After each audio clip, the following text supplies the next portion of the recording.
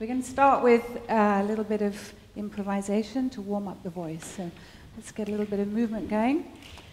And you can, I'm going to encourage you to move through this because it's lovely to move and sing at the same time after that wonderful session with Malcolm. Keep the body moving.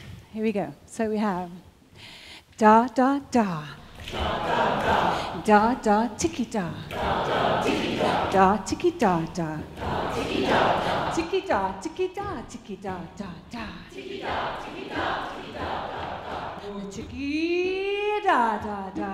Tiki da, da, da. La la la la la la la. La la la la la la. La la la la la la la.